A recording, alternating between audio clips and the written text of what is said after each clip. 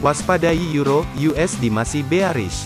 Secara umum, bias harian pergerakan Euro USD terlihat masih berada dalam kondisi bearish dan jika diperhatikan harga sedang melakukan fase konsolidasi.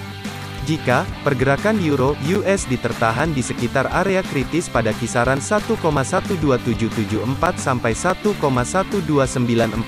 maka tunggu kemunculan bentuk pola candlestick bearish yang valid dengan memperhatikan juga indikator ADX bergerak ke bawah maka ada potensi harga akan menyentuh area 1,12494 sampai 1,12295 Sebaliknya waspadai jika harga euro USD terus bergerak ke atas dan menembus level 1.12947 maka ada potensi harga akan berbalik arah dengan bergerak bullish ke atas menuju level berikutnya pada kisaran 1.13227.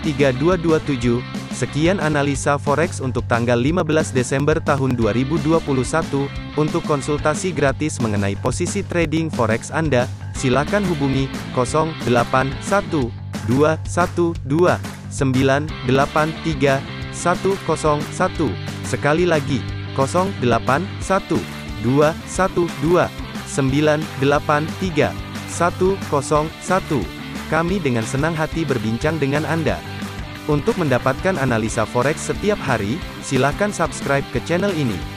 Sampai jumpa di video berikutnya.